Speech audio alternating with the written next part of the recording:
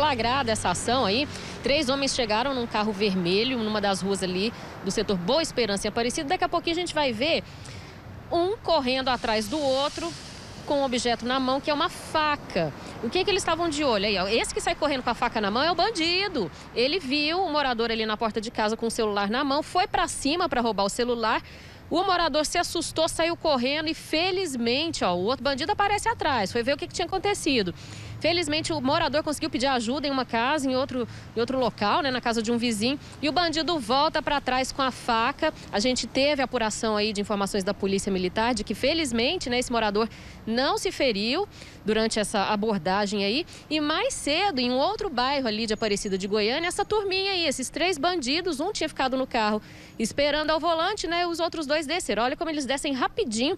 O morador tá ali nessa parte da sombra à esquerda do vídeo, né? E sai correndo assustadíssimo, né? Por pouco.